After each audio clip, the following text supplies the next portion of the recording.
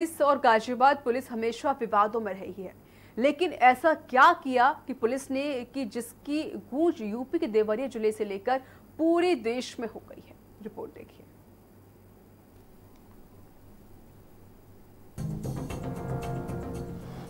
अधिकतर उत्तर प्रदेश पुलिस और गाजियाबाद पुलिस हमेशा से विवादों में रहती है। लेकिन ऐसा क्या किया पुलिस ने कि जिसकी गूंज यूपी के देवरिया ज़िले से लेकर पूरे देश में हो गई है? जी हाँ।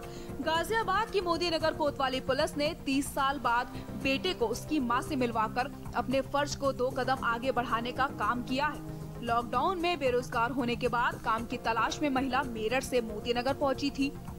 महिला को अपने ज़िले का नाम याद था, लेकिन गाँव का नहीं। पुलिस ने कई घंटों की कोशिश के बाद महिला के परिजनों से संपर्क में आई।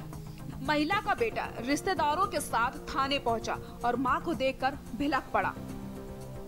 ये देखकर थाने में सभी पुलिस कर्मियों की आँखें नम हो जिला अच्छा कौन लाया तुम पकड़ के? हाँ? कौन लाया पकड़ के? कोई न ले हम घर से रुपया के निकल के आई। अब हम ना जानी कि हमार कौन गलती होई। अच्छा। हमार बालक हुआ तो मर गया। हाँ। हमरा कोनो आरियल हम नहीं अभी पुलिस वाले लाए उठा के आपको? हाँ परसों ले आए। हाँ।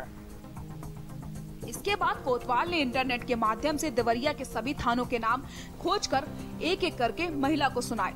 महिला ने अपने गाँव बहसा का नाम पहचान लिया, तब जाकर मोदी नगर पुलिस की सांस में सांस आई। तभी थाना प्रभारी ने भैसा गाँव के प्रधान का मोबाइल नंबर लेकर उन्हें इस मामले की जानकारी दी। ग्राम प्रधान संतोष सिंह ने महिला के परिजनों को सूचना दी। जानकारी लगते ही पार्वती का परिवार खुश हो गया और बेटा रवीश कुमार अपने रिश्तेदारों के साथ मोदी नगर थाने पहुँच गया। और माँ के पैरों पर गिरकर रोने लगा। ये भावुक पल देखकर मोदी नगर थाने में सभी पुलिसकर्मी भी भावुक हो गए।